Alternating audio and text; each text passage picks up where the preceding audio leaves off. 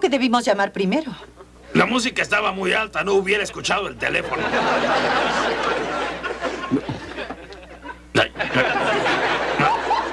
Eh, esperaba